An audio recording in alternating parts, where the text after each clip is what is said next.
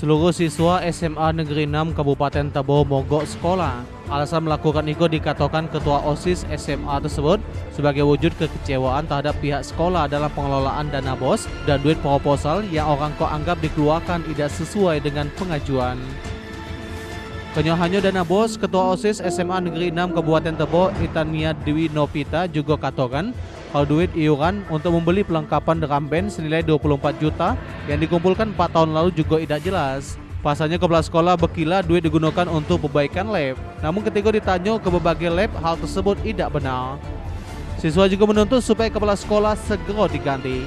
Waktu kita tanya ke kepala sekolahnya, kepala sekolahnya ngomong katanya uang itu tuh untuk benerin labor TIK.